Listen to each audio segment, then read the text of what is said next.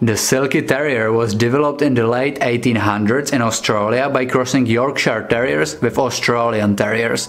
Both ancestors are tough and versatile hunters and even though the Australian Silky Terrier was sometimes used to hunt vermin and to kill snakes, they were most often used as urban pets. At first they were known as Sydney Silky Terriers, but in the 1955 their name was officially changed to today's Australian Silky Terrier. Number 2